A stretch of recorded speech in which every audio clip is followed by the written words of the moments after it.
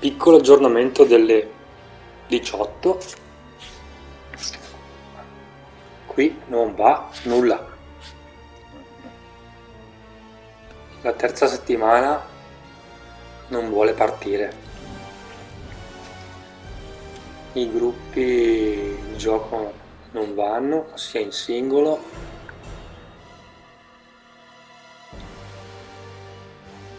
Che nelle altre modalità coppie, terzetti,